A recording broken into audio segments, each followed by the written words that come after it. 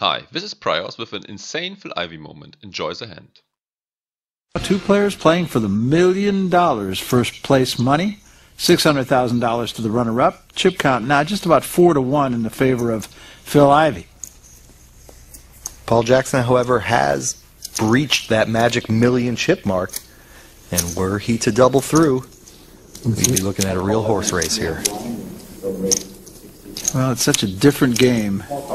Two-handed here.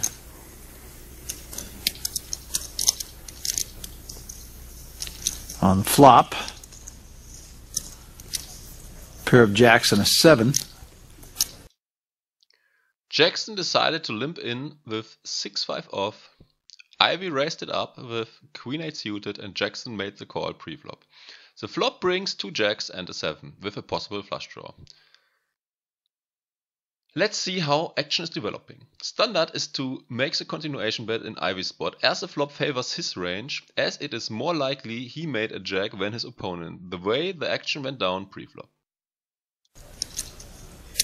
Ivey's still the leader with that queen eight suited. Three hearts out there for him. 80,000 is the bet. And that's a pretty standard poker play, Barry. The big stack on a flop like this in an unraised pot wants to keep making tester bets. If I got the action correct, it is not unraised. Pretty sure the moderator is mistaken about that. Try to find out if the little guy connected in any way. And with that kind of flop, it looks unlikely. So Phil Ivey says, okay, I've got queen high, but I'll take a stab at it. And look at this!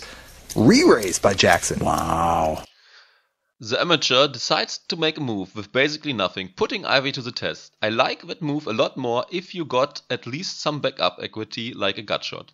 You also don't want to play mind games with a guy like Phil Ivey, who might exactly identify what you are trying to do. To 170,000. Now, I, I like the play because Paul Jackson is willing to get into a poker match here. He's not going to just sit around and wait to flop the nuts. This may be the line in the sand here for Paul Jackson. Phil Ivey, though, if he really thinks deeply about this, might be asking himself, well, now wait a minute. If this guy had a jack in his hand, would he re-raise me here? Probably not. So what the heck is he doing? So he's thinking it, and the question is, will he overthink A re-raise. Well, there you are. Re-raises to 320,000. It's right back in the face of Paul Jackson.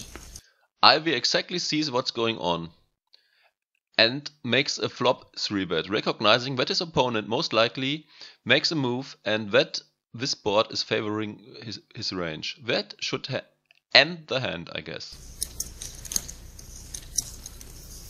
We are watching some poker here, Barry. Both guys with nothing. Phil Ivey's nothing is a little bit better than Paul Jackson's, but nobody connected with that flop, and here they are, raise, re-raise, re-raise. Nice. Oh my goodness, Jackson is re-raising. What the heck is going on here? Re-raising.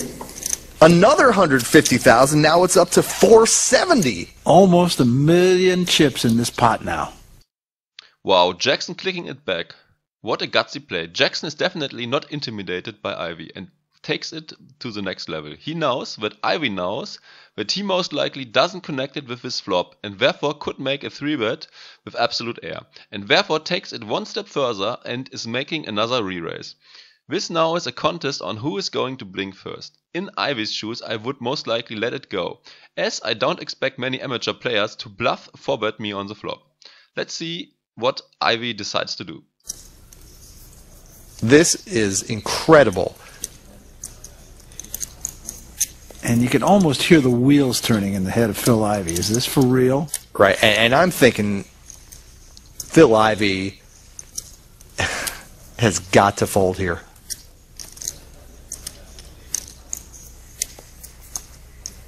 Yeah. I mean, is his opponent going to raise him twice with nothing? After Phil Ivey has shown strength? How much you got left? 360. 380. 360, 380. 380,000 is what Jackson finally arrives at. Barry, let's put this in perspective. We're looking at a million chip pot, and both players have nothing. We are looking at two guys bluffing with nothing. Both of them. Who's going to blink? with two cards to come. I don't think he's going to blink. I don't see how he can possibly continue in this hand.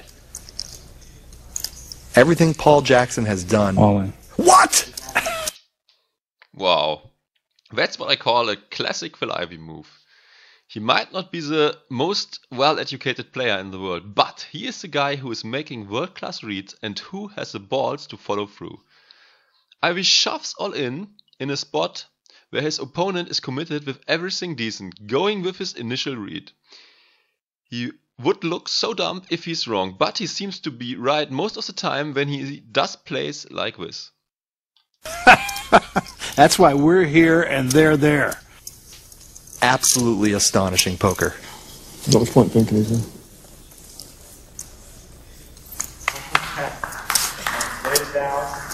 Lady, it's a good lay down, wasn't it? He said it was a good laydown, and he's going to do just that. And Phil Ivey is the guy who did not blink. Watching this hand was like witnessing great art. It's absurd and wonderful at the same time.